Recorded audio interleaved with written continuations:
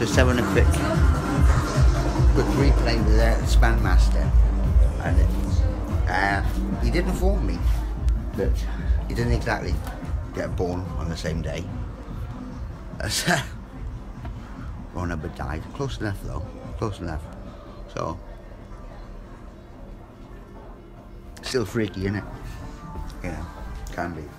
You want. Although, uh, this is what people. When I said that to him, um, it, I was under the assumption that, well, you know, these phones, isn't he? He checked it out himself. And uh, because he uh, looked at the phone, and, and he said his birthday, I knew it was round about the same date. I'm not telling people that Bandicker's birthday, but it's pretty close to the same day LRH died. And we were gonna have a good laugh about that and uh, see how we could spin people's heads with that one.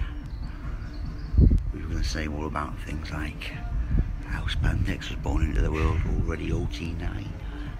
I know there's no such level for any OT member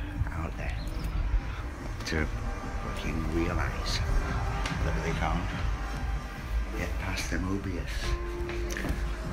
and uh, immobilise Mobius.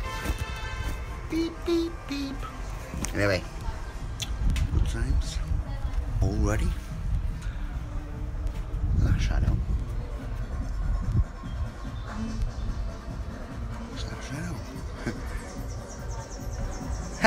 Looks like.